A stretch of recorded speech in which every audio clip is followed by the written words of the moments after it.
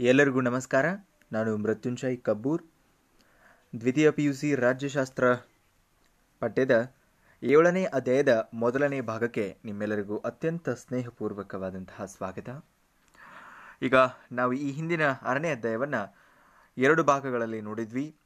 ಸಮ್ಮಿಶ್ರ ಸರ್ಕಾರ ವ್ಯವಸ್ಥೆ ಬಗ್ಗೆ, ಹಾಗೆ ರಾಜಕೀಯದಲ್ಲಿ ಯುವ ಜನತೆಯ ಪಾಲ್ಗೊಳ್ಳುವಿಕೆ ಬಗ್ಗೆ ನಾವು ಸ್ವಲ್ಪ ಮಾಹಿತಿನ ಈ ಹಿಂದಿನ ಅಧ್ಯಾಯದಲ್ಲಿ ತಿಳ್ಕೊಂಡ್ವಿ.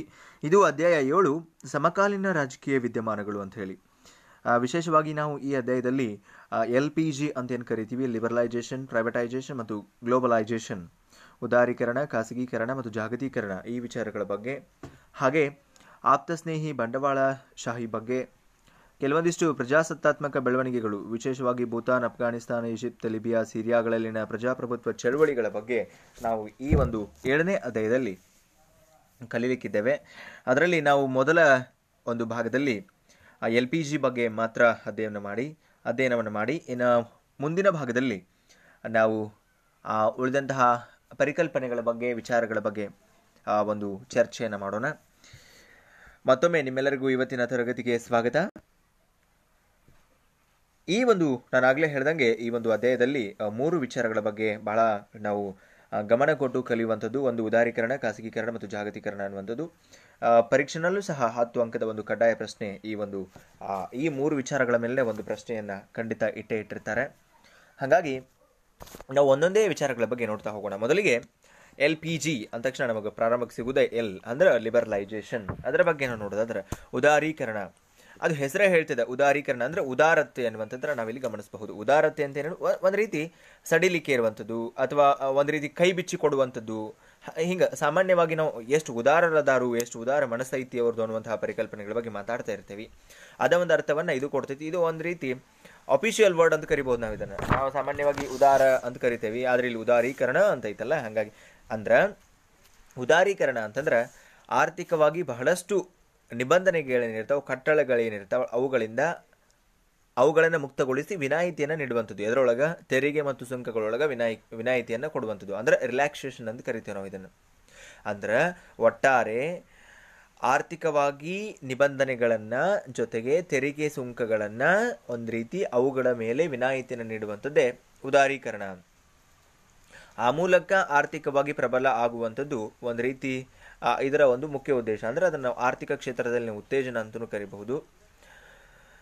ಇದು ಸರ್ಕಾರ ನಿರ್ಬಂಧಗಳನ್ನು ಕಡಿತಗೊಳಿಸುವುದು ಮತ್ತು ಖಾಸಗಿಯವರು ಹೆಚ್ಚಾಗಿ ಆರ್ಥಿಕ ಕ್ಷೇತ್ರಗಳಲ್ಲಿ ಭಾಗವಹಿಸುವಂತೆ ಮಾಡುವಂತಹ ಒಂದು ಪ್ರಕ್ರಿಯೆ ಅಂತ ನಾವು ಕರೀತೀವಿ. ಅದನ್ನು ಅಥವಾ ಅದಕ್ಕೆ ಸಂಬಂಧಪಟ್ಟಂಗ ನಿಯಮಗಳನ್ನು ಒಂದು ರೂಪಿಸುವಂತಹದ್ದು ಈ ಒಂದು ಉದಾರೀಕರಣ ವ್ಯಾಪ್ತಿಯಲ್ಲಿ ಬರುವಂಥದ್ದು ಹಾಗೆ ಭಾರತ ಸ್ವತಂತ್ರಗೊಂಡ ನಂತರ ಆರ್ಥಿಕ ಕ್ಷೇತ್ರದೊಳಗೆ ಸಾರ್ವಜನಿಕ ಮತ್ತು ಖಾಸಗಿಯವರ ಭಾಗವಹಿಸುವಂತಹ ಮಿಶ್ರ ಆರ್ಥಿಕ ನೀತಿಯನ್ನು ಜಾರಿಗೊಳಿಸಿತು. ಹತ್ತೊಂಬತ್ತು ನೂರ ಎಂಬತ್ತೈದರೊಳಗ ಆವಾಗಿನ ಪ್ರಧಾನಮಂತ್ರಿ ಆಗಿದ್ದಂತಹ ರಾಜೀವ್ ಗಾಂಧಿ ಅವರು ಹೊಸ ಆರ್ಥಿಕ ವ್ಯವಸ್ಥೆಗೆ ಪ್ರಯತ್ನವನ್ನು ಮಾಡಿದರು. ಆದರೆ ಹತ್ತೊಂಬತ್ತು ನೂರ ತೊಂಬತ್ತೊಂದರೊಳಗೆ ಏನಾಯಿತು ಇಂಡಿಯಾದೊಳಗೆ ಅಂತಂದ್ರೆ ಬಹಳ ಆರ್ಥಿಕ ಮುಗ್ಗಟ್ಟು ಎದುರಾಯಿತು. ಆ ಸಂದರ್ಭದೊಳಗೆ ಭಾರತದೊಳಗಿದ್ದಂತಹ ಎಲ್ಲ ಒಂದು ಬಂಗಾರವನ್ನು ಬಂಗಾರವನ್ನ ಎಲ್ಲಿ ಸ್ವಿಟ್ಜರ್ಲ್ಯಾಂಡ್ ಮತ್ತು ಇಂಗ್ಲೆಂಡ್ನೊಳಗೆ, ಯೂನಿಯನ್ ಬ್ಯಾಂಕ್ ಆಫ್ ಸ್ವಿಟ್ಜರ್ಲ್ಯಾಂಡ್ ಮತ್ತು ಬ್ಯಾಂಕ್ ಆಫ್ ಇಂಗ್ಲೆಂಡ್ನೊಳಗೆ ಅಡುವಿಡ್ತಾರೆ. ಅಡುವಿಟ್ಟು ಇಂಟರ್ನ್ಯಾಷನಲ್ ಮಾನಿಟರಿ ಫಂಡ್ ಅಂತ ಏನು ಕರಿತೀವಿ, ಅಂತಾರಾಷ್ಟ್ರೀಯ ಹಣಕಾಸು ನಿಧಿ. ಅದನ್ನು ಐ ಎಂ ಎಫ್ ಮತ್ತೆ ಈ ವಿಶ್ವ ಬ್ಯಾಂಕ್ ಇವರಿಬ್ಬರು ಸೇರಿ ಏಳು ಬಿಲಿಯನ್ ಡಾಲರ್ ಸಾಲವನ್ನು ಭಾರತಕ್ಕೆ ಕೊಡ್ತಾರೆ. ಆವಾಗಿಂದ ಒಂದು ರೀತಿ ಈ ಒಂದು ಆರ್ಥಿಕ ಸುಧಾರಣೆಗಳ ಅವಶ್ಯಕತೆ ಇತ್ತೇ ಇತ್ತು. ಹಾಗಾಗಿ ಮುಂದೆ ಹೊಸ ಆರ್ಥಿಕ ನೀತಿಯನ್ನ ಪರಿಚಯಿಸುವಂತಹ ಒಂದು ಒತ್ತಡ ಸರ್ಕಾರದ ಮೇಲೆ ಬಿತ್ತು. ಹಾಗಾಗಿ ಅವಾಗ ಹೊಸ ಆರ್ಥಿಕ ನೀತಿಯನ್ನ ಅವತ್ತಿನ ಪ್ರಧಾನಮಂತ್ರಿ ಆಗಿದ್ದಂತಹ ಪಿ ವಿ ನರಸಿಂಹರಾವ್ ಮತ್ತು ಹಣಕಾಸು ಸಚಿವರಾಗಿದ್ದಂತಹ ಡಾಕ್ಟರ್ ಮನಮೋಹನ್ ಸಿಂಗ್ ರವರು ಜಾರಿಗೊಳಿಸ್ತಾರೆ. ಹಿಂಗ ಮುಂದ ಈ ಒಂದು ಉದಾರ ನೀತಿಗಳನ್ನ ಆಗಾಗ ಕೆಲವೊಂದಿಷ್ಟನ್ನ ಜಾರಿಗೊಳಿಸುವುದು, ಕೆಲವೊಂದಿಷ್ಟನ್ನ ಸಡಿಲಗೊಳಿಸುವುದು ಹಿಂಗ ಮಾಡ್ಕೊಂತ ಹೊಂಟಾರೆ. ಇತ್ತೀಚೆಗೂ ನಮ್ಮ ಕರ್ನಾಟಕ ಸರ್ಕಾರದಲ್ಲೂ ಸಹ, ಭಾರತದಲ್ಲೂ ಸಹ ಕೆಲವೊಂದಿಷ್ಟು ಕೈಗಾರಿಕಾ ನೀತಿಗಳನ್ನ ಮತ್ತಷ್ಟು ಸಡಿಲಗೊಳಿಸಿದ್ರು. ಆ ಮೂಲಕ ಆ ಕ್ಷೇತ್ರದಲ್ಲಿ ಬಂಡವಾಳ ಹರಿದು ಬರಲಿಕ್ಕೆ ಒಂದು ಸಾಧ್ಯ ಆಗ್ತಾ ಇದೆ ಅನ್ನೋದನ್ನ ನಾವಿಲ್ಲಿ ಗಮನಿಸಬಹುದು. ಮುಖ್ಯ ಉದ್ದೇಶ ಏನು? ಉದಾರೀಕರಣದ್ದು ಅಂತಂದ್ರೆ ಖಾಸಗಿ ವಲಯದವರಿಗೆ ಹೆಚ್ಚಿನ ಅವಕಾಶವನ್ನು ಕೊಡುವಂಥದ್ದು ಮತ್ತು ಅಂತಾರಾಷ್ಟ್ರೀಯ ಮಟ್ಟದೊಳಗೆ ಸ್ಪರ್ಧಿಸುವಂಥದ್ದು.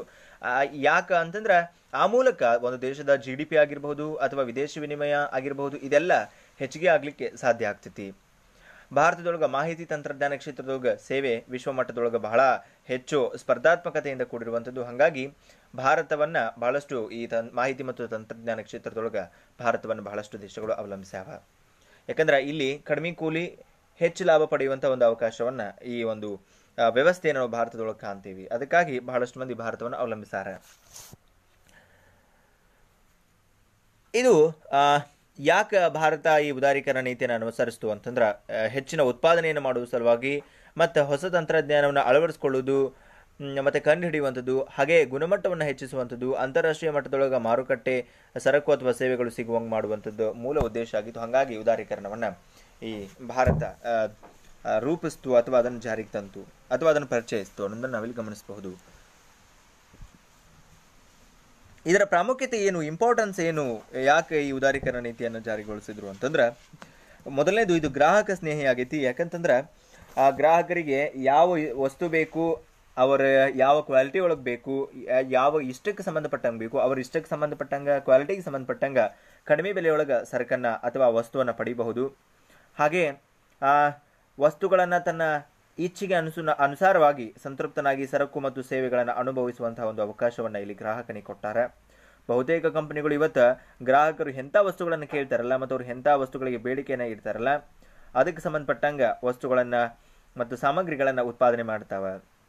ಹಾಗಾಗಿ ಒಂದು ರೀತಿ ಗ್ರಾಹಕರಿಗೆ ಏನು ಬೇಕು, ಎಂತಹ ಒಂದು ವಸ್ತುಗಳು ಬೇಕು ಅಂಥವನ್ನ ಇಲ್ಲಿ ಸುಲಭವಾಗಿ ಪಡ್ಕೊಳ್ಳಿಕ್ಕೆ ಸಾಧ್ಯ ಆಗಿದೆ. ಹಾಗಾಗಿ ಇಲ್ಲಿ ಇದು ಒಂದು ರೀತಿ ಗ್ರಾಹಕ ಸ್ನೇಹಿ ಅಂತ ನಾವು ಇಲ್ಲಿ ಕರಿಬಹುದು.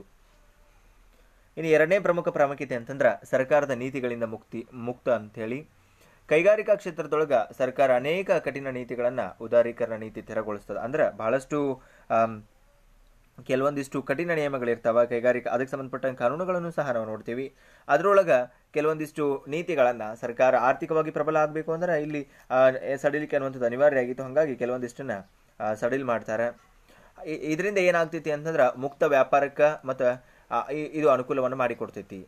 ಹಾಗೆ ಖಾಸಗಿ ಸೇವೆ ಕಂಪ್ನಿಗಳೇನಿರ್ತಾವೆ, ಅವು ಮುಕ್ತವಾದಂತಹ ಸೇವೆಯನ್ನು ಕೊಡಲಿಕ್ಕೆ ಸಾಧ್ಯ ಆಗ್ತೈತಿ. ಹಾಗಾಗಿ ಒಂದು ರೀತಿ ಇಲ್ಲಿ ಖಾಸಗಿ ಕಂಪ್ನಿಗಳು ಯಾವುದು ಸರ್ಕಾರದ ನೀತಿ ನಿಯಮಗಳನ್ನು ಅನುಸರಿಸುವಂತಹ ಒಂದು ಪ್ರಕ್ರಿಯೆ ಇರುವುದಿಲ್ಲ. ಹಾಗಾಗಿ ಸರ್ಕಾರದ ನೀತಿಗಳಿಂದ ಮುಕ್ತ ಆಗಿರುವಂಥದ್ದನ್ನು ನಾವಿಲ್ಲಿ ಗಮನಿಸಬಹುದು. ಇನ್ನು ಮತ್ತೊಂದು ಪ್ರಮುಖವಾಗಿರುವಂತಹ ಅಂಶ ಅಂತಂದ್ರೆ ಪೈಪೋಟಿಯನ್ನು ಉತ್ತೇಜನ ಮಾಡುವಂಥದ್ದು. ಉದಾರೀಕರಣ ಅನ್ನುವಂಥದ್ದು ಏನೈತಿ ಅಲ್ಲ, ಇದು ವಿವಿಧ ಕಂಪನಿಗಳ ನಡುಕ ಒಂದು ರೀತಿ ಕಾಂಪಿಟೇಷನ್ ಅನ್ನ ಹೆಚ್ಚಿಗೆ ಮಾಡ್ತೈತಿ. ಯಾರು ಕಡಿಮೆ ಬೆಲೆ ಹೆಚ್ಚಿನ ಕ್ವಾಲಿಟಿ ವಸ್ತುವನ್ನ ಕೊಡ್ತಾರಲ್ಲ, ಅವ್ರ ಕಡೆ ಸುಲಭವಾಗಿ ಗ್ರಾಹಕರು ಹೊರದು ಹೋಗ್ತಾರೆ. ಹಾಗಾಗಿ ಒಂದು ರೀತಿ ಇದು ಪೈಪೋಟಿಯನ್ನ ಹೆಚ್ಚಿಗೆ ಮಾಡ್ತಿದೆ. ಆ ಮೂಲಕ ದೇಶದ ಪ್ರಗತಿ ಸಾಧಿಸ್ಲಿಕ್ಕೂ ಸಹ ಇದು ಅನುಕೂಲಕರ ಆಗ್ತದೆ ಮತ್ತೊಂದು ಪ್ರಮುಖ ಅಂಶ ಅಂತಂದ್ರೆ ವಿಶ್ವ ಉದ್ಯಮಿಗಳ ದರ್ಜೆಯನ್ನು ಉತ್ತೇಜನ ಮಾಡುವಂಥದ್ದು. ಉದಾರೀಕರಣದಿಂದ ವಿಶ್ವ ದರ್ಜೆಯ ಉದ್ಯಮಿಗಳನ್ನು ಸೃಷ್ಟಿಸುವುದರ ಜೊತೆಗೆ ಅವರಿಗೆ ಅಂತಾರಾಷ್ಟ್ರೀಯ ಮಟ್ಟದೊಳಗೆ ಜ್ಞಾನ ಮತ್ತು ತಂತ್ರಜ್ಞಾನವನ್ನು ವಿನಿಮಯ ಮಾಡಿಕೊಳ್ಳುವಂತಹ ಅರಿವನ್ನು ಸಹ ಇದು ಕೊಡ್ತೈತಿ. ಅಂತಾರಾಷ್ಟ್ರೀಯ ಮಟ್ಟದ ಕಂಪನಿಗಳು ಒಡಂಬಡಿಕೆ ವ್ಯವಹಾರದ ಮೂಲಕ ಹೆಚ್ಚು ಹಣ ಗಳಿಸಲಿಕ್ಕೆ ಜಾಗತಿಕ ಮಟ್ಟದೊಳಗೆ ಉದಾರೀಕರಣ ಸಹಕಾರಿಯಾಗೈತೆ ಅನ್ನೋದನ್ನ ನಾವಿಲ್ಲಿ ಗಮನಿಸಬಹುದು. ಇನ್ನು ಮತ್ತೊಂದು ಪ್ರಮುಖ ಪ್ರಾಮುಖ್ಯತೆ ಅಂತಂದ್ರೆ ಖಾಸಗಿ ಹೂಡಿಕೆದಾರರ ಸಂಸ್ಥೆಗಳನ್ನು ಉನ್ನತೀಕರಿಸ್ತದ ಅನ್ನುವಂಥದ್ದು. ಉದಾರೀಕರಣ ನೀತಿ ಹೊಸ ಕಂಪನಿಗಳಿಗೆ ಬ್ಯಾಂಕ್ ಸಾಲವನ್ನು ಕೊಡುವುದರ ಮೂಲಕ ಬಂಡವಾಳ ಹೂಡುವ ಚೈತನ್ಯವನ್ನು ನೀಡುತ್ತದೆ ಇದರಿಂದ ಖಾಸಗಿ ಸಂಸ್ಥೆಗಳ ಬ್ಯಾಂಕ್ಗಳನ್ನು ಸ್ಥಾಪಿಸಲಿಕ್ಕೆ ಸಾಧ್ಯ ಆಗ್ತೈತಿ. ಉದಾಹರಣೆ ಹೇಳಬೇಕು ಅಂತಂದ್ರೆ I C I I C I C I bank ಆಗಿರ್ಬೋದು, ಎಚ್ ಡಿ ಎಫ್ ಸಿ ಆಗಿರ್ಬೋದು, ಎಚ್ ಎಸ್ ಬಿ ಸಿ ಆಗಿರ್ಬೋದು ಇಂತಹ ಸಾಕಷ್ಟು ಬ್ಯಾಂಕ್ಗಳನ್ನು ಒಂದು ರೀತಿ ಖಾಸಗಿ ಹೂಡಿಕೆದಾರರನ್ನು ಉತ್ತೇಜನಗೊಳಿಸ್ತದೆ ಅಥವಾ ಉನ್ನತೀಕರಿಸಲಿಕ್ಕೆ ಇದು ಸಹಕಾರಿಯಾಗಿದೆ ಅನ್ನೋದನ್ನು ಇಲ್ಲಿ ಗಮನಿಸಬಹುದು. ಜೊತೆಗೆ ಬಹಳ ಪ್ರಮುಖವಾಗಿ ಇದು ಆರ್ಥಿಕ ಪ್ರಗತಿಯನ್ನು ಸಾಧಿಸ್ತದೆ. ಯಾಕಂತಂದ್ರೆ ರಾಷ್ಟ್ರದ ಜಿ ಡಿ ಪಿ ದರ ಬೆಳವಣಿಗೆ ಆಗ್ತೈತಿ. ಹಾಗೆ ಅತ್ಯಂತ ಕಡಿಮೆ ಸಮಯದೊಳಗೆ ರಾಷ್ಟ್ರದ ಆರ್ಥಿಕ ಬೆಳವಣಿಗೆ ಮತ್ತು ಜೀವನ ಮಟ್ಟವನ್ನು ಸುಧಾರಿಸ್ತದೆ. ಅಭಿವೃದ್ಧಿಶೀಲ ರಾಷ್ಟ್ರಗಳು ಉದಾರತಾ ನೀತಿಯಿಂದ ಉಪಯೋಗವನ್ನು ಪಡ್ಕೊಳ್ತಾವ. ಒಂದು ರೀತಿ ದೇಶ ಇನ್ನೂ ಅಭಿವೃದ್ಧಿ ಆಗಬೇಕು ಅಂತಂದ್ರೆ ಒಂದು ಈ ಉದಾರೀಕರಣ ನೀತಿಯನ್ನು ಅಳವಡಿಸ್ಕೊಳ್ಳೋದು ಉಪಯೋಗಕಾರಿ ಅಂತ ಇಲ್ಲಿ ನಾವು ಗಮನಿಸಬಹುದು. ಜೊತೆಗೆ ಬಹಳ ಪ್ರಮುಖವಾಗಿರುವಂತಹ ಮತ್ತೊಂದು ಪ್ರಾಮುಖ್ಯತೆ ಅಂತಂದ್ರೆ ತಂತ್ರಜ್ಞಾನವನ್ನು ಅಭಿವೃದ್ಧಿಗೊಳಿಸದ ಅನ್ನುವಂಥದ್ದು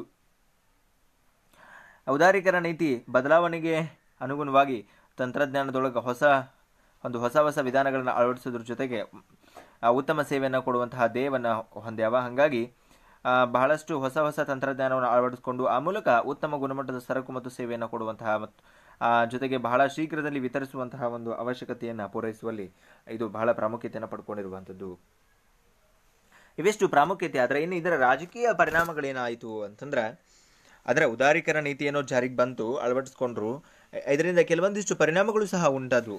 ರಾಜಕೀಯವಾಗಿ ಆ ಏನೆಲ್ಲ ಪರಿಣಾಮಗಳು ಉಂಟಾದವು ಅಂತಂದ್ರೆ ಮೊದಲನೇ ಪರಿಣಾಮ ಅಂತಂದ್ರೆ ಬೌದ್ಧಿಕ ಪಲಾಯನ. ನಾವು ಇದನ್ನ ಪ್ರತಿಭಾ ಪಲಾಯನ ಅಂತಲೂ ಸರಿತಿ ಸಹ ಕರಿತೀವಿ ಈಗ ನಮ್ಮ ದೇಶದೊಳಗೆ ಓದಿ ಶಾಣೆಯಾಗಿ ಸರ್ಟಿಫಿಕೇಟ್ ತಗೊಂಡು ಕೌಶಲ್ಯ ಕೌಶಲ್ಯಭರಿತ ಒಬ್ಬ ವ್ಯಕ್ತಿ ಇದ್ದ ಅಂತಂದ್ರೆ ಅವ ಹೆಚ್ಚಿನ ಸ್ಯಾಲ್ರಿಗೆ ಅಥವಾ ಇನ್ನೂ ಹೆಚ್ಚಿಗೆ ಕಲಿಬೇಕು ಅಂತ ಹೇಳಿ ವಿದೇಶಗಳ ಕಡೆ ಗಮನವನ್ನು ವಹಿಸ್ತಾರೆ. ಅಂತಹ ಸಂದರ್ಭದೊಳಗೆ ನಮ್ಮ ದೇಶವನ್ನು ಬಿಟ್ಟು ಹೋಗ್ತಾರಲ್ಲ, ಅದನ್ನು ನಾವು ಬೌದ್ಧಿಕ ಪಲಾಯನ ಅಂತ ಕರಿಬಹುದು. ಅಂದರೆ ಒಂದು ರೀತಿ ಒಂದು ರಾಷ್ಟ್ರದಲ್ಲಿರುವಂತಹ ಪ್ರತಿಭಾವಂತ ವಿದ್ಯಾರ್ಥಿ ಸಮೂಹ ಏನಿರ್ತೈತೆ, ಅದು ನಮ್ಮ ದೇಶವನ್ನು ಬಿಟ್ಟು ಬೇರೆ ಕಡೆಗೆ ಏನು ಅವರಿಗೆ ಸೇವೆಯನ್ನು ಕೊಡುವಂಥದ್ದು ಅಥವಾ ಅಲ್ಲಿ ಹೋಗಿ ಕಲಿತು ಅಲ್ಲೇ ನೌಕರಿಯನ್ನು ಮಾಡುವಂಥದ್ದು ಒಂದು ರೀತಿ ಬೌದ್ಧಿಕ ಪಲಾಯನ ಅಂತ ಅನಿಸ್ತತಿ. ಇದು ಒಂದು ರಾಜಕೀಯ ಪ್ರಮುಖವಾದಂತಹ ಕಾರಣ. ಇದರಿಂದ ಒಂದು ರೀತಿ ಬಹಳಷ್ಟು ಸಮಸ್ಯೆಗಳನ್ನ ನಮ್ಮ ದೇಶದೊಳಗೆ ಕೌಶಲ್ಯಭರಿತ ಒಬ್ಬ ವಿದ್ಯಾರ್ಥಿಗಳ, ವ್ಯಕ್ತಿಗಳ ವೃತ್ತಿಪರರ ಒಂದು ಏನು ಕೊರತೆ ಅನ್ನುವಂತ ಅನ್ನುವಂಥದ್ದು ಕಂಡು ಬರ್ತೈತಿ. ಮತ್ತು ಕಾರ್ಮಿಕರ ಅವಲಂಬನೆ ಕಡಿಮೆ ಆಗ್ತೈತಿ. ಉದಾರೀಕರಣ ವ್ಯವಸ್ಥೆಯಿಂದ ಬಂಡವಾಳ ಹೂಡುವಿಕೆ ಹೂಡುವಿಕೆ ಹೆಚ್ಚಾಗ್ತೈತಿ. ಭಾಳಷ್ಟು ಹೊಸ ಹೊಸ ಟೆಕ್ನಾಲಜಿ ಉಪಯೋಗ ಮಾಡೋದ್ರಿಂದ ಕೆಲಸಗಾರರ ಮೇಲಿನ ಕೆಲಸ ಕಡಿಮೆ ಆಕೈತಿ. ಉದ್ಯೋಗ ಸೃಷ್ಟಿ ಕಡಿಮೆಯಾಗಿ ಆ ಮೂಲಕ ಒಂದು ರೀತಿ ನಿರುದ್ಯೋಗನೂ ಸಹ ಸೃಷ್ಟಿಯಾಗ್ತೈತಿ ಹಿಂಗೆ ಒಂದು ರೀತಿ ಇದು ಕಾರ್ಮಿಕರ ಅವಲಂಬನೆ ಕಡಿಮೆ ಆಗೋದ್ರ ಜೊತೆಗೆ ಒಂದು ನಿರುದ್ಯೋಗ ಪ್ರಮಾಣವನ್ನು ಸಹ ಹೆಚ್ಚಿಗೆ ಮಾಡ್ತೈತಿ ಅಂತ ನಾವಿಲ್ಲಿ ಗಮನಿಸಬಹುದು. ಜೊತೆಗೆ ಪರಿಸರ ವಿನಾಶವನ್ನ ಹೆಚ್ಚಿಗೆ ಮಾಡ್ತೈತಿ ಇದು. ಯಾಕಂದ್ರೆ ಬಹಳಷ್ಟು ಈಗ ನೋಡ್ರಿ, ಬಹಳಷ್ಟು ಕಂಪ್ನಿಗಳು ಫ್ಯಾಕ್ಟರಿಗಳು ಎಲ್ಲ ನಿರುಪಯುಕ್ತ ತ್ಯಾಜ್ಯಗಳನ್ನ ಹೊರಗೆ ಬಿಡ್ತಾವ ಮತ್ತ ಸಾಕಷ್ಟು ಹೊಗೆಯನ್ನ ಪರಿಸರಕ್ಕೆ ಸೇರಿಸ್ತಾವ. ಹಂಗಾಗಿ ಇದು ಒಂದು ರೀತಿ ಪರಿಸರ ನಾಶಕ್ಕೆ ಹೆಚ್ಚಿಗೆ ಕಾರಣ ಆಗ್ತೈತಿ. ಹಾಗೆ ಕೆಲವೊಂದಿಷ್ಟು ಬೆಲೆಗಳ ನಿಯಂತ್ರಣ ಅನ್ನುವಂಥದ್ದು ಕಂಡು ಬರ್ತೈತಿ. ಉದಾಹರಣೆಗೆ ಔಷಧಗಳಿರ್ಬೋದು, ರಸಗೊಬ್ಬರಗಳಿರ್ಬೋದು, ಇವುಗಳ ಬೆಲೆಗಳನ್ನು ವಿಶ್ವ ವ್ಯಾಪಾರ ಸಂಘಟನೆ ಮತ್ತು ಇತರ ಸಂಸ್ಥೆ ಸಂಘ ಸಂಸ್ಥೆಗಳ ಮೂಲಕ ನಿಯಂತ್ರಣವನ್ನು ಮಾಡುವಂತಹ ಸಾಧ್ಯತೆಯನ್ನು ಸಹ ಗಮನಿಸ್ತೈತಿ. ಯಾಕಂದ್ರೆ ಅವ್ರಿಗೆ ಎಷ್ಟು ಬೇಕೋ ಅಷ್ಟು ರೇಟಿಗೆ ಮಾರಕ್ಕೆ ಬರುವುದಿಲ್ಲ. ಹಾಗೆ ಉದಾರೀಕರಣ ನೀತಿಯಿಂದ ಜನಸಾಮಾನ್ಯರ ಜೀವನದ ಮೇಲೂ ಸಹ ಪರಿಣಾಮವನ್ನು ಬೀರ್ತೈತಿ. ಯಾಕಂದ್ರೆ ಇಲ್ಲಿ ಸಂಪಾದನೆಯ ಮಾರ್ಗ ಬಹಳ ಕಠಿಣ ಆಗಿರ್ತೈತಿ. ಹಾಗಾಗಿ ಒಂದು ರೀತಿ ದಿನನಿತ್ಯದ ಬದುಕು ಬಹಳ ಸ್ವಲ್ಪ ಕಷ್ಟದಾಯಕ ಆಗ್ತೈತಿ ಅನ್ನೋದನ್ನು ನಾವಿಲ್ಲಿ ಗಮನಿಸಬಹುದು. ಹಾಗೆ ಹಣಕಾಸಿನ ಅಸ್ಥಿರತೆ ಅನ್ನುವಂಥದ್ದು ಪ್ರಮುಖವಾಗಿರುವಂತಹ ರಾಜಕೀಯ ಕಾರಣ. ಉದಾರೀಕರಣ ನೀತಿಯಿಂದಾಗಿ ಸರ್ಕಾರದೊಳಗಿನ ಹಣಕಾಸಿನ ಆರ್ಥಿಕ ಪರಿಸ್ಥಿತಿಯಲ್ಲಿ ಏರಿಳಿತ ಉಂಟಾಗಿ, ಆರ್ಥಿಕ ಅಸ್ಥಿರತೆಯಿಂದ ಆರ್ಥಿಕ ಹಿಂಜರಿತ ಉಂಟಾಕೈತಿ. ತದನಂತರ ಹಣದುಬ್ಬರದಂತಹ ಸಮಸ್ಯೆಗಳು ಹೆಚ್ಚಿಗೆ ಆಗ್ತಾವ. ಸರ್ಕಾರಿ ಉದ್ಯೋಗಗಳು ಕಡಿಮೆ ಆಗ್ತಾವ. ಮೀಸಲಾತಿ ಸೌಲಭ್ಯಗಳಂತೂ ಕಾಲಕ್ರಮೇಣ ಎಲ್ಲವೂ ಸಹ ಬಂದಾಗುವಂತಹ ಒಂದು ಸಾಧ್ಯತೆ ಈ ಒಂದು ಉದಾರೀಕರಣ ನೀತಿಯಿಂದ ಕಂಡು ಬರ್ತಿತ್ತು ಅನ್ನೋದನ್ನ ನಾವಿಲ್ಲಿ ಗಮನಿಸಬಹುದು. ಇವಿಷ್ಟು ಈ ಒಂದು ಉದಾರೀಕರಣ ನೀತಿಯಿಂದ ಆಗುವಂತಹ ರಾಜಕೀಯ ಪರಿಣಾಮಗಳು. ಈ ಉದಾರೀಕರಣದ ನಂತರ ಬರುವಂಥದ್ದು ಅಂತಂದ್ರೆ ಅದು ಖಾಸಗೀಕರಣ. ನಾವು ಅದನ್ನ ಪ್ರೈವೇಟೈಸೇಷನ್ ಅಂತ ಕರಿತೀವಿ. ಅಂದ್ರೆ ಸರ್ಕಾರದ ಒಡೆತನದಲ್ಲಿರುವಂತಹ ಫ್ಯಾಕ್ಟರಿಗಳನ್ನ ಖಾಸಗಿಯವರಿಗೆ ಕೊಡುವಂಥದ್ದು. ಈಗ ಉದಾಹರಣೆಗೆ ನಮ್ಮ ಭಾರತದ ಸಂಬಂಧಪಟ್ಟಂಗ ಅಂತಂದ್ರೆ ಹಂಗ ಒಂದು ಉದಾಹರಣೆ ಹೇಳೋದು, ಅದ್ರಿಗೆ ಬಿ ಎಸ್ ಎನ್ ಎಲ್ ಅಂತ ಐತಿ, ಭಾರತ ಸಂಚಾರ ನಿಗಮ್ ಲಿಮಿಟೆಡ್. ಅದು ಈಗ ಸರ್ಕಾರಿ ಸ್ವಾಮ್ಯ ಐತಿ, ಅದನ್ನು ಸಂಪೂರ್ಣವಾಗಿ ಖಾಸಗಿಯವರಿಗೆ ಕೊಟ್ಟು ಅವರ ನಿಭಾಯಿಸುವಂಗೆ ಮಾಡ್ಬಿಡೋದು. ಹಿಂಗ ಅನ್ ಹಂಗೇನ್ ಮಾಡ್ತೀವಲ್ಲ? ಅದನ್ನ ಈಗ ಇತ್ತೀಚೆಗೆ ರೈಲ್ವೆ ಬಗ್ಗೆನೂ ಇದು ಒಂದು ವ್ಯಾಪಕವಾದಂತಹ ಚರ್ಚೆ ಪ್ರಾರಂಭ ಆಗಿತ್ತು. ಇಂತಹ ಒಂದಿಷ್ಟು ಏನಿರ್ತಾವ? ಸರ್ಕಾರಿ ತೆಕ್ಕೆ ಒಳಗ ಅಂತಹ ಕೈಗಾರಿಕೆಗಳನ್ನ, ಫ್ಯಾಕ್ಟರಿಗಳನ್ನ, ಅಥವಾ ಖಾಸಗಿ ಅವರಿಗೆ ಕೊಡುವಂಥದ್ದೇ ಒಂದು ರೀತಿ. ಅದು ಖಾಸಗೀಕರಣ ಅಂತ ಅನಿಸ್ತೈತಿ. ಹತ್ತೊಂಬತ್ತು ಅರವತ್ತು ಮತ್ತು ಎಪ್ಪತ್ತರ ಸುಮಾರಿಗೆ ಕೈಗಾರಿಕಾ ನೀತಿಗಳೇ ಖಾಸಗಿ ನಿಯಮಗಳನ್ನು ನಿರ್ಧಾರ ಮಾಡ್ತಾ ಇದ್ವು. ಆದ್ರೆ ಹತ್ತೊಂಬತ್ತರ ಎಂಬತ್ತರೊಳಗ ಖಾಸಗೀಕರಣ ಬ್ರಿಟನ್ ಮತ್ತು ಅಮೆರಿಕದೊಳಗ ಹೊಸ ಕ್ರಾಂತಿಯನ್ನ ಉಂಟು ಮಾಡೋದ್ರ ಜೊತೆಗೆ ಇತರೆ ರಾಷ್ಟ್ರಗಳೊಳಗೂ ಸಹ ಖಾಸಗೀಕರಣಕ್ಕೆ ಉತ್ತೇಜನವನ್ನು ಕೊಟ್ಟರು ಇವತ್ತು ಭಾರತನೂ ಸಹ ಈ ಒಂದು ಖಾಸಗೀಕರಣ ನೀತಿಯನ್ನು ಅನು, ಅನುಸರಿಸ್ತಾ ಇರುವಂಥದ್ದು. ಕೆಲವೊಂದಿಷ್ಟು ನಿರ್ಧಾರಗಳನ್ನು ತೆಗೆದುಕೊಳ್ಳುವಲ್ಲಿ ಅವರ ಪಾತ್ರನೂ ಸಹ ಪ್ರಮುಖವಾಗಿರ್ತದೆ ಖಾಸಗಿಯವರ ಪಾತ್ರ. ಹಾಗಾಗಿ ಕೆಲವೊಮ್ಮೆ ಸರ್ಕಾರದವರು ಆರ್ಥಿಕ ಹೊರೆಯಿಂದಾಗಿನೋ ಅಥವಾ ನಿಭಾಯಿಸ್ಲಿಕ್ಕೆ ಆಗುವುದಿಲ್ಲ ಅಂತ ಹೇಳಿನೋ ಹಿಂಗೆ ಯಾವುದೋ ಒಂದು ಕಾರಣಕ್ಕೆ ಈ ಒಂದು ಖಾಸಗಿ ಸಂಸ್ಥೆಗಳಿಗೆ ಆ ಒಂದು ಕೈಗಾರಿಕೆಗಳನ್ನು ಹಸ್ತಾಂತರ ಅಥವಾ ವರ್ಗಾವಣೆ ಮಾಡುವಂಥದ್ದನ್ನು ನಾವಿಲ್ಲಿ ಗಮನಿಸಬಹುದು. ಇನ್ನು ಈ ಒಂದು ಖಾಸಗೀಕರಣದ ಪ್ರಾಮುಖ್ಯತೆಯನ್ನು ನಾವು ನೋಡೋದಾದ್ರೆ ಇದು ಹೊಸ ಹೊಸ ಉದ್ಯಮಿಗಳನ್ನ ಸೃಷ್ಟಿ ಮಾಡ್ತೈತಿ, ಅವರಿಗೆ ಪ್ರೋತ್ಸಾಹವನ್ನು ಕೊಡ್ತೈತಿ, ಯಾಕಂದ್ರೆ ಅವರ ಬುದ್ಧಿವಂತಿಕೆ, ಜ್ಞಾನ, ಕೌಶಲ್ಯ ಅವುಗಳ ಆಧಾರದ ಮೇಲೆ ಇವು ಸಾಕಷ್ಟು ಖಾಸಗಿ ಸಂಸ್ಥೆಗಳು ಅಸ್ತಿತ್ವಕ್ಕೆ ಬರ್ತಾವ. ಹಾಗಾಗಿ ಹೊಸ ಉದ್ಯಮಿಗಳನ್ನು ಪ್ರೋತ್ಸಾಹ ಮಾಡ್ತೈತಿ ಅನ್ನುವಂಥದ್ದು ಪ್ರಮುಖ ಏನು ಪ್ರಾಮುಖ್ಯತೆ. ಹಾಗೆ ಖಾಸಗೀಕರಣ ಉದ್ಯೋಗಗಳಲ್ಲಿ ಕಾರ್ಯದಕ್ಷತೆಯನ್ನು ಹೆಚ್ಚಿಸ್ತದೆ ಅನ್ನುವಂಥದ್ದು ಎರಡನೇ ಪ್ರಮುಖವಾದಂತಹ ಪ್ರಾಮುಖ್ಯತೆ. ಯಾಕಂದ್ರೆ ಇದು ಉತ್ತಮ ಕಾರ್ಯಶೀಲತೆಯನ್ನು ನೀಡುವುದರ ಜೊತೆಗೆ ಸ್ಪರ್ಧಾತ್ಮಕ ಪ್ರಪಂಚದಲ್ಲಿ ಖಾಸಗಿ ಸಂಸ್ಥೆಗಳು ಉಳ್ಕೊಳ್ಳುವಂಗೆ ಮಾಡ್ತದ. ಕೈಗಾರಿಕಾ ಸಂಸ್ಥೆದೊಳಗೆ ಉತ್ತಮವಾದಂತಹ ಸ್ಯಾಲ್ರಿ ಇರ್ತೈತಿ, ಸೌಲಭ್ಯಗಳಿರ್ತಾವ, ಹಂಗಾಗಿ ಒಂದು ರೀತಿ ದಕ್ಷತೆಯಿಂದ ಕೆಲಸ ಮಾಡಲಿಕ್ಕೆ ಇದು ಸಾಧ್ಯ ಆಗ್ತೈತಿ. ಹಾಗೆ ಮತ್ತೊಂದು ಪ್ರಮುಖ ಪ್ರಾಮುಖ್ಯತೆ ಅಂತಂದ್ರೆ, ಸಾಮರ್ಥ್ಯ ಹೆಚ್ಚಿಸ್ತದ. ಖಾಸಗಿ ಕಂಪನಿಗಳು ಗ್ರಾಹಕರ ಅಗತ್ಯಕ್ಕೆ ಅನುಗುಣವಾಗಿ ಸರಕು ಮತ್ತು ಸೇವೆಗಳನ್ನು ಉತ್ಪಾದ ಮಾಡಿ, ಉತ್ಪಾದನೆ ಮಾಡಿ ಮಾರಾಟವನ್ನು ಮಾಡ್ತಾವ. ಇದರೊಳಗ ಕಡಿಮೆ ಬೆಲೆಯ ಉತ್ತಮ ಗುಣಮಟ್ಟದ ವಸ್ತುಗಳು, ನಿಗದಿತ ಸಮಯದೊಳಗ ಸರಬರಾಜು ಇತ್ಯಾದಿ ವಿಚಾರಗಳಲ್ಲಿ, ವಿಚಾರದಲ್ಲಿ ಖಾಸಗೀಕರಣ ತನ್ನದೇ ಆದಂತಹ ಛಾಪನ್ನ ಮೂಡಿಸ್ತದೆ ಅನ್ನೋದನ್ನ ನಾವಿಲ್ಲಿ ಗಮನಿಸಬಹುದು. ಹಾಗೆ ಹೊಸ ಹೊಸ ಯೋಜನೆಗಳನ್ನ, ಆವಿಷ್ಕಾರಗಳನ್ನ, ಹೊಸ ಹೊಸ ತಂತ್ರಜ್ಞಾನವನ್ನ ಅಳವಡಿಸ್ಕೊಳ್ಳಿಕ್ಕೆ, ಅದರ ಬಗ್ಗೆ ವಿಚಾರ ಮಾಡಲಿಕ್ಕೆ ಒಂದು ರೀತಿಯಲ್ಲಿ ಅವಕಾಶ ಅನ್ನುವಂಥದ್ದು ಸಿಗ್ತದೆ. ಹಾಗೆ ಒಂದು ನಿರ್ದಿಷ್ಟವಾದಂತಹ ಗುರಿಯನ್ನ ಈ ಖಾಸಗಿ ಸಂಸ್ಥೆಗಳು ಅಥವಾ ಕಂಪನಿಗಳು ಹೊಂದಿರ್ತಾವ, ಅದನ್ನ ಈಡೇರಿಸ್ಕೊಳ್ಳಿಕ್ಕೆ ಪ್ರಯತ್ನಿಸ್ತಾವ. ಜೊತೆಗೆ ಗುಣಮಟ್ಟವನ್ನು ಕಾಪಾಡಿಕೊಳ್ಳಲು ಸಹ ಒಂದು ರೀತಿ ಇವು ದೃಢತೆಯನ್ನು ಹೊಂದಿರ್ತವೆ. ಹಾಗಾಗಿ ಇದು ಗುರಿ ಸಾಧಿಸುವಲ್ಲೂ ಸಹ ಪ್ರಮುಖವಾದಂತಹ ಪಾತ್ರವನ್ನು ವಹಿಸ್ತೈತಿ. ಮತ್ತೊಂದು ಪ್ರಮುಖವಾದಂತಹ ಪ್ರಾಮುಖ್ಯತೆ ಅಂತಂದ್ರೆ ಬಂಡವಾಳ ಅಂತ ಹೇಳಿ. ಖಾಸಗಿ ಕಂಪನಿಗಳು ತಮ್ಮ ಬಂಡವಾಳವನ್ನ ವಿವಿಧ ಬಗೆಯೊಳಗೆ ಅಂದ್ರೆ ಷೇರು ಡಿಬೆಂಚರ್ಸ್ ಆಗಿರ್ಬೋದು, ಇಕ್ವಿಟಿ ಇವುಗಳ ಇವುಗಳೊಳಗ ತೊಡಗಿಸಿ ಮಾರುಕಟ್ಟೆಯ ಬಂಡವಾಳ ಹೂಡಿಕೆಯನ್ನು ಮಾಡ್ತಾರೆ.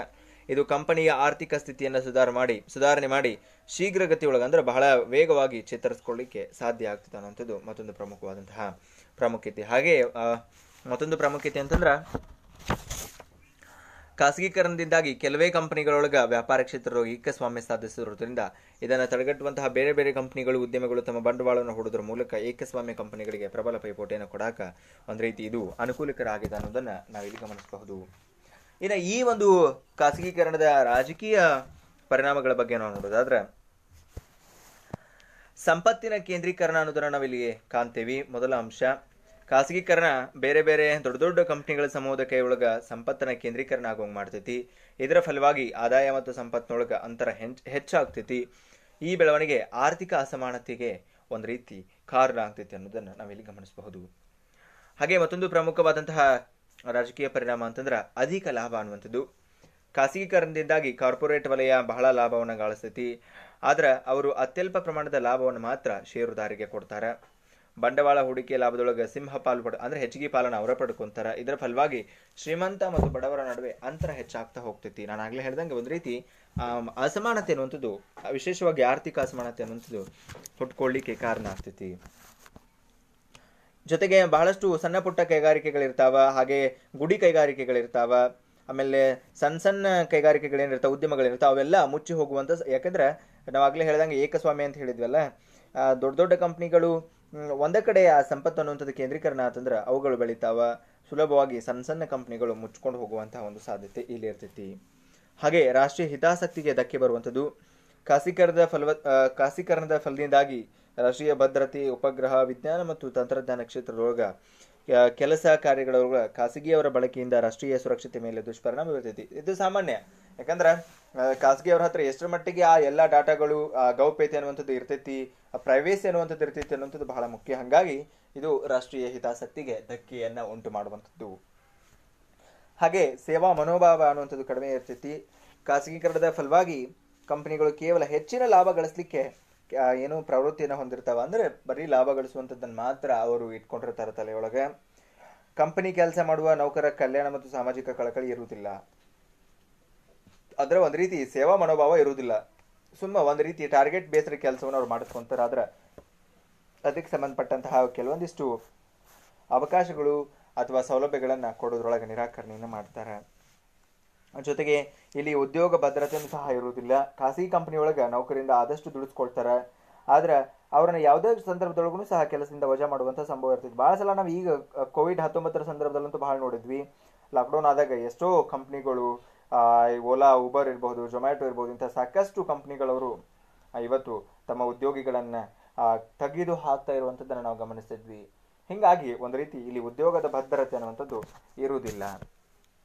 ಜೊತೆಗೆ ಇದು ಸಾರ್ವಭೌಮತ್ವಕ್ಕೆ ಧಕ್ಕೆ ಆಗಿರುವಂಥದ್ದು ಖಾಸಗೀಕರಣದ ಪ್ರಭಾವದಿಂದಾಗಿ ಉದಯಿಸಿದಂತಹ ಬಹುರಾಷ್ಟ್ರೀಯ ಕಂಪನಿಗಳು ಭ್ರಷ್ಟ ಕಾರ್ಪೊರೇಟ್ ವ್ಯವಸ್ಥೆಯಾಗಿ ಮಾರ್ಪಟ್ಟು ರಾಷ್ಟ್ರದ ಕಾನೂನು ರಚಿಸುವ ಪ್ರಕ್ರಿಯೆ ಮೇಲೆ ಒತ್ತಡ ತರ್ತಾವ. ಆ ಮೂಲಕ ರಾಷ್ಟ್ರದ ಪರಮಾಧಿಕಾರ ಮತ್ತು ಏಕತೆಯ ಮೇಲೆ ಒಂದು ರೀತಿ ಇದು ಏನು ಪರಿಣಾಮವನ್ನು ಬೀರ್ತೈತೆ ಅನ್ನೋದನ್ನು ನಾವಿಲ್ಲಿ ಗಮನಿಸಬಹುದು. ಇವಿಷ್ಟು ಈ ಒಂದು ವಿಶೇಷವಾಗಿ ಯಾವುದು ಖಾಸಗೀಕರಣದಿಂದ ಉಂಟಾಗುವಂತಹ ಕೆಲವೊಂದಿಷ್ಟು ರಾಜಕೀಯ ಪರಿಣಾಮಗಳು. ಇನ್ನು ಮತ್ತೊಂದು ಪ್ರಮುಖವಾದಂತಹ ವ್ಯವಸ್ಥೆ ಅಂತಂದ್ರೆ ಅದು ಗ್ಲೋಬಲೈಜೇಷನ್ ನಾವು ಅದನ್ನು ಜಾಗತೀಕರಣ ಅಂತ ಕರಿತೀವಿ. ಜಾಗತೀಕರಣ ಅಂತಂದ್ರೆ ಒಂದು ರಾಷ್ಟ್ರದ ಆರ್ಥಿಕತೆಯನ್ನು ವಿಶ್ವದ ಆರ್ಥಿಕತೆಯೊಂದಿಗೆ ಹೋಲಿಕೆ ಮಾಡುವ, ಹೋಲ್- ಹೋಲಿಕೆ ಮಾಡುವಂಥದ್ದು ಅಥವಾ ಒಂದುಗೂಡಿಸುವಂಥದ್ದು ಅಂತ ನಾವು ಕರಿತೇವೆ.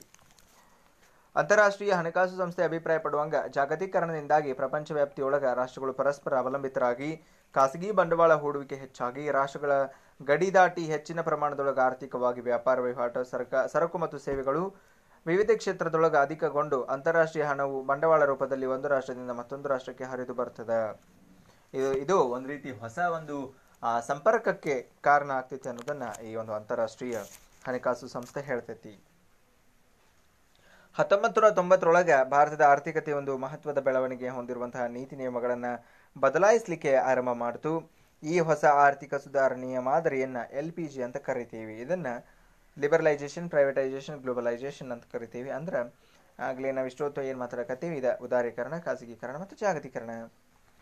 ಜಾಗತೀಕರಣದ ಫಲವಾಗಿ ರಾಷ್ಟ್ರದೊಳಗ ಆರ್ಥಿಕತೆಯ ಸುಧಾರಣೆ, ವಿವಿಧ ಕ್ಷೇತ್ರಗಳಾದಂತಹ ವಾಣಿಜ್ಯ, ಉತ್ಪಾದನೆ, ತಯಾರಿಕೆ ಮತ್ತು ಕೈಗಾರಿಕೆಗಳ ಬದಲಾವಣೆಯನ್ನು ತರುವಲ್ಲಿ ಯಶಸ್ವಿಯಾಗೈತಿ ಈ ಆರ್ಥಿಕ ಸುಧಾರಣೆಯನ್ನು ರಾಷ್ಟ್ರದ ಎಲ್ಲ ಬಗೆಯ ಆರ್ಥಿಕ ಚಟುವಟಿಕೆಗಳೊಳಗ ಬೆಳವಣಿಗೆಯನ್ನು ಗಮನಾರ್ಹ ಮಟ್ಟದೊಳಗೆ ತರಲಿಕ್ಕೆ ಏನು ಪ್ರಭಾವವನ್ನು ಬೀರೈತಿ ಇದು ಖಾಸಗೀಕರಣ ಅನ್ನೋದನ್ನ ನಾವಿಲ್ಲಿ ಗಮನಿಸಬಹುದು. ಇನ್ನ ಈ ಒಂದು ಪ್ರಾಮುಖ್ಯತೆ ಏನು ಈ ಖಾಸಗಿ ಜಾಗತೀಕರಣದ್ದು ಅಂತಂದ್ರೆ ಮೊದಲನೇದು ಸಾಮರ್ಥ್ಯ ಅನ್ನುವಂಥದ್ದು.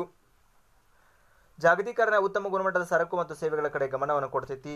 ಅದು ವಿಶ್ವ ಮಾರುಕಟ್ಟೆಯ ಮೂಲಕ ಜಾಗತಿಕ ವ್ಯಾಪಾರ ಮತ್ತು ವಾಣಿಜ್ಯ ವ್ಯವಹಾರಗಳನ್ನು ಪ್ರೋತ್ಸಾಹ ಮಾಡ್ತೈತಿ. ಇದು ಸ್ಪರ್ಧಾತ್ಮಕ ಸ್ವರೂಪವನ್ನು ಹೊಂದಿರುವ ಉತ್ತಮ ಗುಣಮಟ್ಟದ ಕಂಪನಿಗಳ ಸಾಮರ್ಥ್ಯವನ್ನು ಮತ್ತಷ್ಟು ಹೆಚ್ಚಿಸ್ತೈತಿ. ವಿಶ್ವ ಮಟ್ಟದೊಳಗೆ ವಿಶ್ವ ವ್ಯಾಪಾರ ಸಂಘಟನೆ ವ್ಯಾಪಾರ ಮತ್ತು ವಾಣಿಜ್ಯ ಕ್ಷೇತ್ರದೊಳಗ ಮುಕ್ತ ವ್ಯಾಪಾರ ಮಾ, ಮುಕ್ತ ಮಾರುಕಟ್ಟೆ ವ್ಯವಸ್ಥೆಯನ್ನು ಒದಗಿಸ್ತದೆ ಅನ್ನೋದನ್ನು ನಾವಿಲ್ಲಿ ಗಮನಿಸಬಹುದು. ಹಾಗೆ ಉನ್ನತೀಕರಣಗೊಂಡ ತಂತ್ರಜ್ಞಾನದ ಬಳಕೆ ಅನ್ನುವಂಥದ್ದು ಮತ್ತೊಂದು ಪ್ರಾಮುಖ್ಯತೆ. ಪ್ರಪಂಚದೊಳಗ ತಂತ್ರಜ್ಞಾನವನ್ನು ಅಭಿವೃದ್ಧಿಗೊಳಿಸಲಾಗ್ತದೆ ಈ ಮೂಲಕ, ಆ ಎಲ್ಲ ರಾಷ್ಟ್ರಗಳೊಳಗ ಹೆಚ್ಚಾಗಿ ಖಾಸಗಿ ಕ್ಷೇತ್ರದೊಳಗೆ ಹೆಚ್ಚಿನ ಉದ್ಯೋಗಾವಕಾಶ ಸೃಷ್ಟಿಯಾಗ್ತದೆ. ಹೊಸ ತಂತ್ರಜ್ಞಾನವನ್ನು ಅಳಸ್, ಅಳವಡಿಸಿಕೊಂಡಂತಹ ಖಾಸಗಿ ಕಂಪನಿಗಳು ವಿಶ್ವ ಮಟ್ಟದೊಳಗೆ ಹೆಚ್ಚು ಲಾಭವನ್ನು ಗಳಿಸಲಿಕ್ಕೆ ಇದು ಪ್ರೇರಣೆಯಾಗೈತಿ ಅನ್ನೋದನ್ನ ನಾವಿಲ್ಲಿ ಗಮನಿಸಬಹುದು. ಜೊತೆಗೆ ಈ ಒಂದು ಜಾಗತೀಕರಣ ಪ್ರಭಾವದಿಂದಾಗಿ ನಾವು ಜಗತ್ತನ್ನ ಒಂದು ಗ್ರಾಮವನ್ನಾಗಿ ನೋಡಾಕತ್ತೀವಿ, ಅದನ್ನ ಗ್ಲೋಬಲ್ ವಿಲೇಜ್ ಅಂತ ನಾವು ಕರಿತೀವಿ. ಅಂದ್ರೆ ಎಲ್ಲರೂ ವಿಶ್ವ ಅನ್ನುವಂಥದ್ದು ಸಣ್ಣದಾಗ್ಬಿಟ್ಟತ್ತೆ ಈಗ. ಅಂದ್ರ ಎಲ್ಲ ಈಗ ಮಾಹಿತಿ ತಂತ್ರಜ್ಞಾನ ಇರ್ಬೋದು, ಸಾರಿಗೆ, ಸಂಪರ್ಕ ಹಿಂಗ ಬಹಳಷ್ಟು ವ್ಯವಸ್ಥೆಗಳು ಎಲ್ಲರಿಗೂ ಸುಲಭವಾಗಿ ಸಿಗ್ತಾ ಇರೋದ್ರಿಂದ ಇವತ್ತು ಒಂದು ಪ್ರಪಂಚವನ್ನ ಜಾಗತಿಕ ಗ್ರಾಮವನ್ನಾಗಿ ಪರಿವರ್ತಿಸ್ತೈತಿ ಅಂದ್ರೆ ಇದನ್ನ ಒಂದು ರೀತಿ ಎಲ್ಲರೂ ಕನೆಕ್ಟ್ ಆಗ್ಯಾರ ಜಗತ್ತಿನ ಮಂದಿ ಅಂತ ನಾವಿಲ್ಲಿ ಗಮನಿಸಬಹುದು? ಹಾಗೆ ಉದ್ಯೋಗಿಗಳ ಮುಕ್ತ ಸಂಚಾರ ಅನ್ನುವಂಥದ್ದು ಮತ್ತೊಂದು ಪ್ರಾಮುಖ್ಯತೆ. ಜಾಗತೀಕರಣವು ವಿಶ್ವದ ಜನ ಜನತೆಯಲ್ಲಿ ಉದ್ಯೋಗ ಹುಡುಕುವ ಮತ್ತು ಶಿಕ್ಷಣವನ್ನು ಜಾಗತಿಕ ಮಟ್ಟದಲ್ಲಿ ಪಡೆಯುವ ಸಲುವಾಗಿ ಮುಕ್ತ ಸಂಚಾರಕ್ಕೆ ಅವಕಾಶವನ್ನು ಕೊಡ್ತೈತಿ. ಜಾಗತೀಕರಣದಿಂದಾಗಿ ಉದ್ಯೋಗಿಗಳ ಮುಕ್ತ ಸಂಚಾರ ಅನ್ನುವಂಥದ್ದು ಕಂಡು ಬರ್ತೈತೆ. ಅಂದ್ರೆ ಒಂದು ರಾಷ್ಟ್ರದಿಂದ ಮತ್ತೊಂದು ರಾಷ್ಟ್ರಕ್ಕೆ ಸಂಚರಿಸಲಿಕ್ಕೆ ಅಥವಾ ಪ್ರಯಾಣ ಮಾಡಲಿಕ್ಕೆ ಇಲ್ಲಿ ನಾಗರಿಕರಿಗೆ ನಿರ್ಬಂಧವನ್ನು ಸಡಿಲ್ ಮಾಡ್ತಾರೆ. ಹಾಗಾಗಿ ಬಹಳಷ್ಟು ಮಂದಿ ಭಾರತದವರು ಇರ್ಬೋದು, ಬೇರೆ ದೇಶದವರು ಇರ್ಬೋದು, ಬೇರೆ ಬೇರೆ ದೇಶಗಳಲ್ಲಿ ಹೋಗಿ ಶಿಕ್ಷಣಕ್ಕಾಗಿ, ಉದ್ಯೋಗಕ್ಕಾಗಿ ಬೇರೆ ಬೇರೆ ದೇಶಗಳಿಗೆ ಹೋಗ್ತಾರೆ. ಅಂದ್ರೆ ಒಂದು ರೀತಿ ಮುಕ್ತವಾದಂತಹ ಸಂಚಾರ ಏರ್ಪಟ್ಟೈತಿ ಈ ಜಾಗತೀಕರಣದಿಂದಾಗಿ. ಉದಾಹರಣೆಗೆ ಭಾರತದವರೇ ಅಮೇರಿಕಾ, ಆಸ್ಟ್ರೇಲಿಯಾ ಕೆನಡಾ, ಬ್ರಿಟನ್ ಹಿಂಗೆ ಬಹಳಷ್ಟು ದೇಶಗಳಲ್ಲಿ ಕಂಡು ಬರ್ತಾರೆ. ಈ ಕೋವಿಡ್ ಹತ್ತೊಂಬತ್ತರ ಸಂದರ್ಭದೊಳಗೆ ಅವರೆಲ್ಲ ಸಿಕ್ಕಾಕೊಂಡು ಒದ್ದಾಡಿದ್ದನ್ನು ಸಹ ನಾವು ನೋಡಿದ್ವಿ. ಹಿಂಗ ಇದು ಉದ್ಯೋಗಿಗಳ ಮುಕ್ತ ಸಂಚಾರಕ್ಕೆ ಅವಕಾಶವನ್ನು ಮಾಡಿಕೊಡ್ತೈತಿ. ಇನ್ನು ಮತ್ತೊಂದು ಪ್ರಮುಖ ಪ್ರಾಮುಖ್ಯತೆ ಅಂತಂದ್ರೆ ವಿಶ್ವದ ಸ್ಪರ್ಧೆಗೆ ಅವಕಾಶ ಅನ್ನುವಂಥದ್ದು. ಜಾಗತೀಕರಣದೊಳಗೆ ರಾಷ್ಟ್ರದ ಗಡಿಯನ್ನು ದಾಟಿ ವಿವಿಧ ರಾಷ್ಟ್ರಗಳ ಜೊತೆಯಲ್ಲಿ ಸ್ಪರ್ಧಿಸಲಿಕ್ಕೆ ಅವಕಾಶ ಇರ್ತೈತಿ. ವ್ಯಕ್ತಿಗಳು ಮತ್ತು ಕಂಪನಿಗಳಲ್ಲಿ ಜಾಗತಿಕ ಮಟ್ಟದಲ್ಲಿ ಸ್ಪರ್ಧಿಸುವ ಮನೋಭಾವವನ್ನು ಬೆಳೆಸ್ತೈತಿ ಇದು.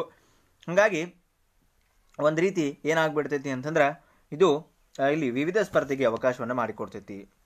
ಬಹಳಷ್ಟು ತಂತ್ರಜ್ಞಾನ, ವಿಜ್ಞಾನ ಕ್ಷೇತ್ರ ಹೊಸ ಹೊಸ ಆವಿಷ್ಕಾರಗಳು, ಸುಧಾರಣೆಗಳನ್ನು ತರಲಿಕ್ಕೆ ಒಂದು ರೀತಿ ಇದು ಅವಕಾಶವನ್ನು ಮಾಡಿಕೊಡ್ತೈತಿ. ಹಾಗೆ ಮತ್ತೊಂದು ಪ್ರಮುಖ ಅಂಶ ಅಂತಾರೆ ಹೊರಗುತ್ತಿಗೆ ಅನ್ನುವಂಥದ್ದು, ಒಂದು ರಾಷ್ಟ್ರದ ಕಂಪ್ನಿಗಳು ಹೊರ ರಾಷ್ಟ್ರದೊಳಗೆ ಕಂಪ್ನಿಗಳಿಂದ ಕೆಲಸ ಮಾಡಿಸುವಂತಹ ನಿರಂತರ ಸೇವೆಯನ್ನು ಪಡ್ಕೊಳ್ಳುವಂತಹ ಬಾಹ್ಯ ಸಂಪನ್ಮೂಲ ಬಳಕೆ ಮತ್ತು ಬಳಕೆ ಮತ್ತು ಗಳಿಕೆಯಾಗಿರ್ತದೆ. ಜಾಗತೀಕರಣದಿಂದ ಇನ್ಫೋಸಿಸ್ ಆಗಿರ್ಬೋದು, ವಿಪ್ರೋ ಇಂಥ ಸಾಕಷ್ಟು ಐ ಟಿ ಕಂಪ್ನಿಗಳು ಕಾಲ್ ಸೆಂಟರ್ಗಳೊಳಗೆ ಹೊರಗುತ್ತಿಗೆ ಸೇವೆಯನ್ನು ಪಡಿತಾವ.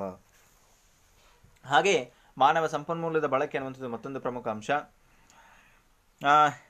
ಅಧಿಕ ಜನಸಂಖ್ಯೆ ಒಂದು ಶಾಪವಾಗಿ ಬದಲಾಗಿ ಒಂದು ವರವಾಗಿ ಪರಿಣಮಿಸುತ್ತೆ ಅನ್ನೋದನ್ನು ಸಹ ನಾವಿಲ್ಲಿ ಈ ಒಂದು ಅಂಶದಿಂದ ಕಂಡುಕೊಳ್ಬಹುದು. ಹಾಗೆ ಅಂತಾರಾಷ್ಟ್ರೀಯ ಮಟ್ಟದಲ್ಲಿ ಸರಕು ಸಾಗಾಣಿಕೆ ಇರ್ಬೋದು, ಹಣಕಾಸು ವ್ಯವಹಾರ ಇರ್ಬೋದು, ಮಾಹಿತಿಗಳ ವಿನಿಮಯ ಇರ್ಬೋದು ಕಾರ್ಮಿಕರ ಚಲನಶೀಲತೆಯ ಪ್ರಮಾಣ ಇವೆಲ್ಲವುಗಳು ಸಹ ಹೆಚ್ಚಾಗಿರುವುದನ್ನ ನಾವಿಲ್ಲಿ ಗಮನಿಸ್ತೇವೆ. ಇನ್ನು ಈ ಜಾಗತೀಕರಣದ ರಾಜಕೀಯ ಪರಿಣಾಮಗಳೇನು ಅಂತಂದ್ರೆ, ಮೊದಲನೇದು ಶಕ್ತಿ ರಾಷ್ಟ್ರಗಳ ಒತ್ತಡ ಅನ್ನುವಂಥದ್ದು. ಜಾಗತೀಕರಣದಿಂದ, ಈ ಜಾಗತೀಕರಣದ ಪರಿಣಾಮದಿಂದ ಹಣಕಾಸಿನ ವ್ಯವಸ್ಥೆಯೊಳಗೆ ಅನೇಕ ಬದಲಾವಣೆಗಳನ್ನು ತರ್, ತಂದಾರೆ. ಬೃಹತ್ ರಾಷ್ಟ್ರಗಳ, ಅಂದರೆ ದೊಡ್ಡ ದೊಡ್ಡ ರಾಷ್ಟ್ರಗಳ ಆರ್ಥಿಕ ನೀತಿಗಳನ್ನು ಸಣ್ಣ ರಾಷ್ಟ್ರಗಳು ಅನಿವಾರ್ಯವಾಗಿ ಒಪ್ಕೊಳ್ಳುವ, ಒಪ್ಕೊಳ್ಳುವಂತಹ ಒಂದು ಪರಿಸ್ಥಿತಿ ಉಂಟಾಗೈತಿ. ಅಂದ್ರೆ ಒಂದು ರೀತಿ ದೊಡ್ಡ ರಾಷ್ಟ್ರದಕ್ಕೆ ತಲೆಬಾಗುವಂತ ಒಂದು ಅನಿವಾರ್ಯತೆಯನ್ನು ಕಲ್ಪಿಸಿಕೊಟ್ಟಿದೆ. ಅಂದ್ರೆ ಯಾವ ದೇಶ ಶಕ್ತಿಯುತವಾಗಿರ್ತೈತಿ, ಬಲಾಢ್ಯ ಆಗಿರ್ತೈತಿ, ಅಂತಹ ರಾಷ್ಟ್ರಕ್ಕೆ ಇವತ್ತು ಮಣಿಯುವಂಥ ಸ, ಏನೋ ಒಂದು ಒತ್ತಡಕ್ಕೆ ಇವತ್ತು ಉಳಿದ ರಾಷ್ಟ್ರಗಳು ಸಿಲುಕ್ಯಾವ ಹಾಗೆ ಪರಮಾಧಿಕಾರಕ್ಕೆ ಧಕ್ಕೆ ಅನ್ನುವಂಥದ್ದು ಮತ್ತೊಂದು ಪ್ರಮುಖ ಕಾರಣ, ಪರಿಣಾಮ. ಜಾಗತೀಕರಣದ ಫಲವಾಗಿ ಪರಮಾಧಿಕಾರವನ್ನು ಹೊಂದಿರುವಂತಹ ರಾಷ್ಟ್ರಗಳು ತಮ್ಮ ವ್ಯಾಪಾರ ವಹಿವಾಟು ಸಂಪರ್ಕ, ಹಣಕಾಸು ಇವುಗಳನ್ನು ಈ ಇವುಗಳ ಕ್ಷೇತ್ರದಲ್ಲಿ ಅಂದರೆ ಇವು ಈ ಎಲ್ಲವುಗಳಿಗೆ ಸಂಬಂಧಪಟ್ಟಂಗೆ ತೆಗೆದುಕೊಳ್ಳುವ ನಿರ್ಧಾರಗಳ ಮೇಲೆ ಬೃಹತ್ ರಾಷ್ಟ್ರಗಳ ಪ್ರಭಾವ ಇರ್ತದೆ. ಅಂದ್ರೆ ದೊಡ್ಡ ದೊಡ್ಡ ರಾಷ್ಟ್ರಗಳ ಪ್ರಭಾವ ಇವಕ್ರ ಮೇಲೆ ಇರ್ತೈತಿ. ರಾಷ್ಟ್ರದ ಆಂತರಿಕ ವಿಚಾರದೊಳಗ ಮತ್ತೊಂದು ರಾಷ್ಟ್ರದ ಹಸ್ತಕ್ಷೇಪ ಮಾಡೋದ್ರಿಂದ ಪರಮಾಧಿಕಾರಕ್ಕೆ ಧಕ್ಕೆ ಅನ್ನುವಂಥದ್ದು ಉಂಟಾಗ್ತೈತಿ. ಹಾಗೆ ಸಾಂಸ್ಕೃತಿಕ ದಾಳಿ ಅಂದ್ರೆ ಒಂದು ದೇಶದಿಂದ ಮತ್ತೊಂದು ದೇಶಕ್ಕೆ ಸಂಸ್ಕೃತಿ ಅನ್ನುವಂಥದ್ದು ಬೇರೆ ಬೇರೆ ಆಗಿರ್ತೈತಿ. ಜಾಗತೀಕರಣದ ಪ್ರಭಾವದಿಂದಾಗಿ ಜನರು ತಮ್ಮ ದೇಶೀಯ ಸಂಸ್ಕೃತಿ ತೊರೆದು ವಿದೇಶ ಅಥವಾ ಪಾಶ್ಚಿಮಾತ್ಯ ಸಂಸ್ಕೃತಿಗೆ ಮಾರು ಹೋಗ್ತಾರೆ. ರಾಷ್ಟ್ರ ನಿರ್ಮಾಣ ಕಾರ್ಯದೊಳಗೆ ಯುವ ಪೀಳಿಗೆಯು ಮುಖ್ಯ ಶಿಲ್ಪಿಗಳಾಗ್ತಾರೆ. ಆದರೆ ವಿದೇಶಿ ವ್ಯಾಮೋಹಕ್ಕೆ ಸಿಲುಕಿದಂಥ ಯುವಜನರು ರಾಷ್ಟ್ರವನ್ನು ತಪ್ಪು ದಾರಿಗೆ ಕೊಂಡೊಯ್ತಾರೆ. ಬಹಳ ಸಲ ನಾವು ಆಗಲೇ ಮಾತಾಡಿದ್ವಲ್ಲ? ಇದರ ಪ್ರಾಮುಖ್ಯತೆ ಕುರಿತು ಮಾತಾಡುವಾಗ, ಉದ್ಯೋಗಿಗಳ ಮುಕ್ತ ಸಂಚಾರ ಅಂತಂದ್ವಿ. ಭಾರತದಿಂದಲೇ ಬೇರೆ ದೇಶಕ್ಕೆ ಹೋಗಿರ್ಬೋದು. ಅಲ್ಲಿ ಅವರು ನಮ್ಮ ಸಂಸ್ಕೃತಿಯನ್ನು ಪ್ರತಿಬಿಂಬಿಸುವುದಿಲ್ಲ ಬದಲಿಗೆ. ಅಲ್ಲಿ ಆ ದೇಶಕ್ಕಾಗಿ ನಾವು ಮಾರು ಹೋಗುವಂಥ ಸಾಧ್ಯತೆ ಇರ್ತೈತಿ. ಜೊತೆಗೆ ಬಹಳಷ್ಟು ಮಂದಿ ಆಕರ್ಷಣೆಗಳಿಗೆ ಒಳಗಾಗೋದ್ರಿಂದ ಸಂಸ್ಕೃತಿಯನ್ನ ಒಂದು ರೀತಿ ಗಾಳಿಗೆ ತೂರುವಂತಹ ಸಾಧ್ಯತೆಯೂ ಸಹ ಇಲ್ಲಿ ಕಂಡು ಬರ್ತೈತಿ. ಹಾಗೆ ಸಾಲ ಮನ್ನಾ ರದ್ದುಗೊಳಿಸುವಂಥದ್ದು ಮತ್ತೊಂದು ಪ್ರಮುಖ ರಾಜಕೀಯ ಪರಿಣಾಮ. ಜಾಗತೀಕರಣದ ಬೆಳವಣಿಗೆ ಪರಿಣಾಮವಾಗಿ ಕೃಷಿ ಕ್ಷೇತ್ರ ಸೇರಿದಂಗೆ ಬೇರೆ ಬೇರೆ ಕ್ಷೇತ್ರದೊಳಗೆ ಸರ್ಕಾರ ಸಬ್ಸಿಡಿ ಯೋಜನೆಗಳನ್ನು ಹಂತ ಹಂತವಾಗಿ ಕಡಿತಗೊಳಿಸ್ತದೆ. ಇದರಿಂದ ರಾಷ್ಟ್ರದ ಬೆನ್ನೆಲುಬಾಗಿರುವಂತಹ ಕೃಷಿ ಕಾರ್ಮಿಕರ ಹಿತಕ್ಕೆ ಮಾರಕ ಆಗ್ತದೆ. ಹಾಗೆ ರಾಜಕೀಯವಾಗಿ ಅಸ್ಥಿರತೆ ಅನ್ನುವಂಥದ್ದು ಕಂಡು ಬರ್ತೈತಿ, ಆರ್ಥಿಕ ಹಿಂಜರಿತ ಆಗ್ತೈತಿ, ಹಣದುಬ್ಬರ, ಇಂತಹ ಸಮಸ್ಯೆಗಳು ಒಂದು ರೀತಿ ರಾಷ್ಟ್ರವನ್ನು ಅರಾಜಕತೆಯತ್ತ ದೂಡ್ತಾವ. ಒಂದು ರೀತಿ ಇದು ಮುಂದೆ ಪ್ರಗತಿ ಕಡಿಮೆ ಆಗಲಿಕ್ಕೂ ಸಹ ಕಾರಣ ಆಗ್ತೈತಿ. ಹಾಗೆ ಸಮೂಹ ಮಾಧ್ಯಮಗಳ ಮೇಲೆ ನಿಯಂತ್ರಣ ಅನ್ನುವಂಥದ್ದು, ಇವಿಷ್ಟು ಇಲ್ಲಿರುವಂತಹ ಪ್ರಮುಖ ರಾಜಕೀಯ ಪರಿಣಾಮಗಳಾಗಿ ಪರಿಣಾಮಿಸ್ತಾವ. ಹಿಂಗ ಈ ಒಂದು ಜಾಗತೀಕರಣ ಅನ್ನುವಂಥದ್ದು, ಅಥವಾ ಖಾಸಗೀಕರಣ ಅನ್ನುವಂಥದ್ದು, ಅಥವಾ ಈ ಉದಾರೀಕರಣ ಅನ್ನುವಂಥದ್ದು ಕೆಲವೊಂದಿಷ್ಟು ಪ್ರಾಮುಖ್ಯತೆಗಳನ್ನು ಹೊಂದಿದ್ರೂ ಸಹ ಅವು ರಾಜಕೀಯವಾಗಿ ಕೆಲವೊಂದಿಷ್ಟು ಪರಿಣಾಮಗಳನ್ನು ಸಹ ಬೀರ್ತಾವೆ. ಹಾಗಾಗಿ ಅವುಗಳ ಪ್ರಮಾಣ, ಅವುಗಳ ಬಳಕೆಯ ಪ್ರಮಾಣ ಆಗಿರಬಹುದು, ಅಥವಾ ಅವುಗಳ ಅನುಷ್ಠಾನದ ಪ್ರಮಾಣ ಆಗಿರಬಹುದು, ಅಥವಾ ಅವುಗಳ ನೀತಿಯಲ್ಲಿ ತೋರಿಸುವಂತಹ ಕೆಲವೊಂದಿಷ್ಟು ಸಡಿಲಿಕೆಗಳ ಪ್ರಮಾಣ ಆಗಿರ್ಬೋದು ಇವೆಲ್ಲವುಗಳ ಕುರಿತು ಒಂದು ರೀತಿ ಹತೋಟಿ ಇರುವಂಥದ್ದು ಇದು ಇವತ್ತಿನ ಒಂದು ಅನಿವಾರ್ಯತೆಯಾಗಿ ಪರಿಣಮಿಸುತ್ತೆ ಅನ್ನೋದನ್ನು ನಾವಿಲ್ಲಿ ಗಮನಿಸಬಹುದು. ಇದಿಷ್ಟು ನಾವು ಈ ಆರನೇ ಅಧ್ಯಾಯದ ಮೊದಲ ಭಾಗದಲ್ಲಿ ಡಿಸ್ಕಸ್ ಮಾಡಬೇಕು ಅಂತ ಅನ್ಕೊಂಡಿರುವಂತಹ ವಿಚಾರ ಆಗಿದ್ದು, ಇನ್ನು ಮುಂದಿನ ಭಾಗದಲ್ಲಿ ನಾವು ಆಪ್ತ ಸ್ನೇಹಿ ಬಂಡವಾಳಶಾಹಿ ಬಗ್ಗೆ, ಹಾಗೆ ಕೆಲವೊಂದಿಷ್ಟು ಪ್ರಜಾಸತ್ತಾತ್ಮಕ ಚಳವಳಿ ಉದಯಗಳ ಬಗ್ಗೆ ಉದಯದ ಬಗ್ಗೆ, ನೇಪಾಳ ಆಗಿರ್ಬೋದು ಭೂತಾನ್, ಅಫ್ಘಾನಿಸ್ತಾನ್, ಈಜಿಪ್ಟ್, ಲಿಬಿಯಾ ಮತ್ತು ಸಿರಿಯಾ, ಈ ದೇಶಗಳ ಪ್ರಜಾಸತ್ತಾತ್ಮಕ ಚಳವಳಿಗಳ ಬಗ್ಗೆ ನಾವು ಮುಂದಿನ ಭಾಗದಲ್ಲಿ ನೋಡೋಣ. ಮತ್ತು ಮುಂದಿನ ಭಾಗದಲ್ಲಿ ಭೇಟಿಯಾಗೋಣ. ಧನ್ಯವಾದಗಳು.